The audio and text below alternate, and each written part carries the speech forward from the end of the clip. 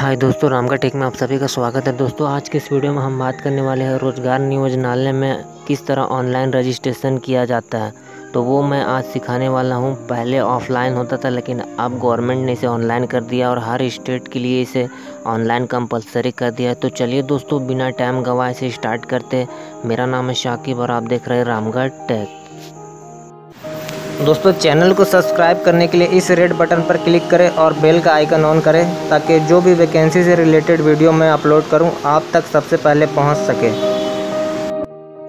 दोस्तों, इसको अप्लाई करने के लिए आपको विकास पेडिया डॉट इन पर जाना होगा। मैं इसका लिंक अपने वीडियो के डिस्क्रिप्शन में दे दूँगा, आप वहाँ जाकर इसे आप खोल कर अप्लाई कर सकते हैं। तो सबसे पहले मैं आपको बता देता हूँ, इसका पाँच नियम है।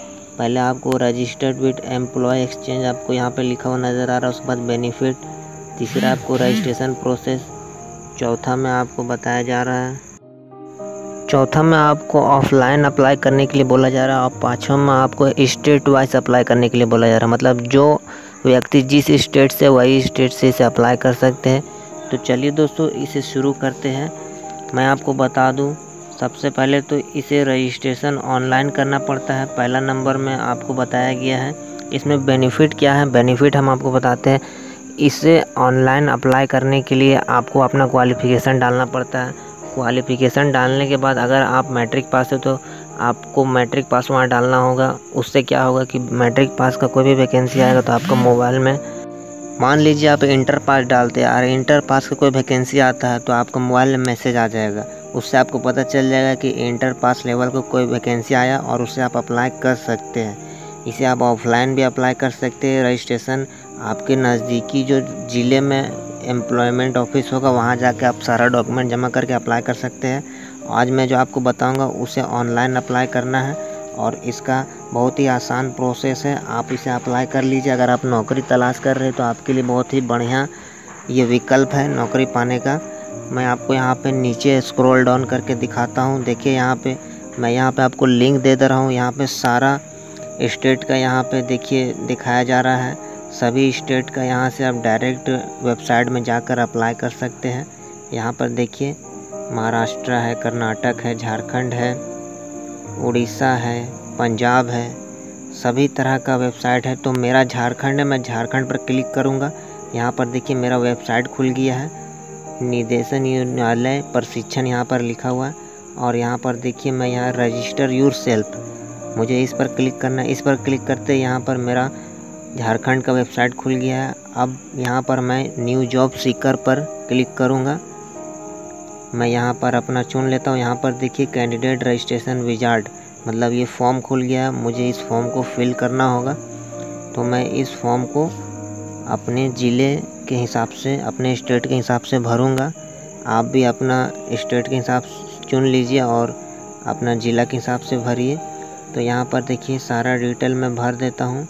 यहाँ ज़िला एम्प्लॉयमेंट ऑफ़िस यहाँ भरना है आपको।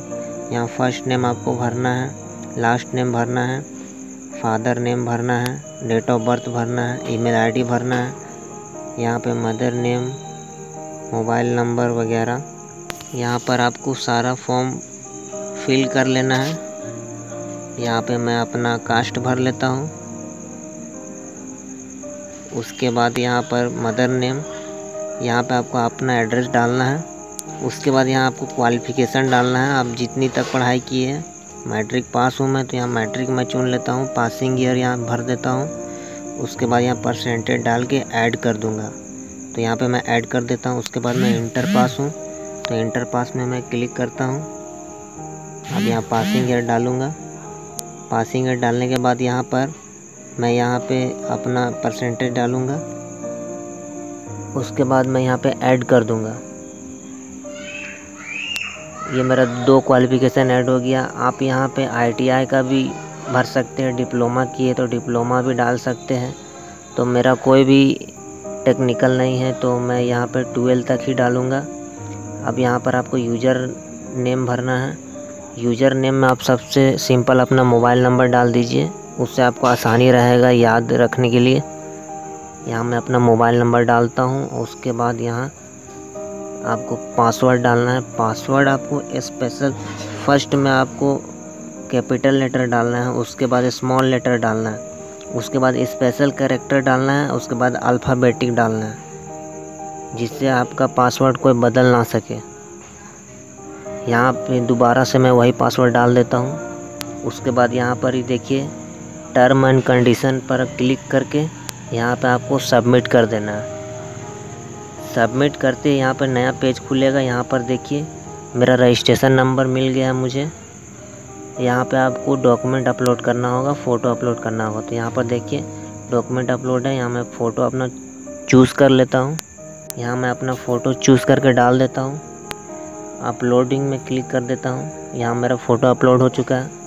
अब यहाँ पर अपलोड डॉक्यूमेंट में क्लिक करूँगा। यहाँ पर देखिए सारा डॉक्यूमेंट आपको अपलोड करना है। आप जितनी क्वालिफ़िकेशन डालिएगा, उतनी यहाँ पे आपको अपलोड करनी होगी। तो मैं मैट्रिक और ट्वेल्व डाला हूँ। तो यहाँ मैट्रिक ट्वेल्व और एड्रेस प्रूफ और रिज्यूम यहाँ पे मांगा जा रहा है। तो यहाँ पर आप बारी बारी करके सभी चीज़ भर लीजिए। उसके बाद मैं आपको एक सिंपल में दिखा देता हूँ। मैं अपना एड्रेस प्रूफ एक डाल देता हूँ। आधार कार्ड मैं अपना सेलेक्ट करके यहाँ पर डालता हूँ। उसके बाद यहाँ पे मैं, यहाँ पे मैं, यहाँ पर देखिए आप एक ध्यान रखिए, यहाँ पे आपको पीडीएफ फ़ाइल डालना है, जेपीजी फ़ाइल में नहीं लेगा। तो मैं यहाँ पीडीएफ फ़ाइल डालता हूँ। उसके बाद यहाँ सबमिट कर देता हूँ। सबमिट करते ही अपलोड होगा यहाँ पे व्यू, लेफ़्ट साइड में देखिए, सॉरी राइट साइड में व्यू दिखा देगा। यहाँ पे ये अपलोड हो चुका है। अब यहाँ पर देखिए प्रिंट यहाँ पे लिखा हुआ है। प्रिंट पर आप क्लिक कीजिएगा तो आपका कार्ड जो है बनकर तैयार है। आप इसे प्रिंट करके कहीं भी आप जेरोक्स दे सकते हैं, कोई भी वैकेंसी में अप्लाई कर सकते हैं और आप इसे यूज़ कर सकते हैं। तो ये आपका सक्सेसफुल रजिस्ट्रेशन हो गया है। तो मोर अपडेट ज़्यादा अपडेट पाना है तो मेरे चैनल को सब्सक्राइब कीजिए और वीडियो पसंद आता तो लाइक कीजिए शेयर ज़रूर कीजिए और ज़्यादा से ज़्यादा सब्सक्राइब कीजिए। आज के लिए बस इतना ही। धन्यवाद।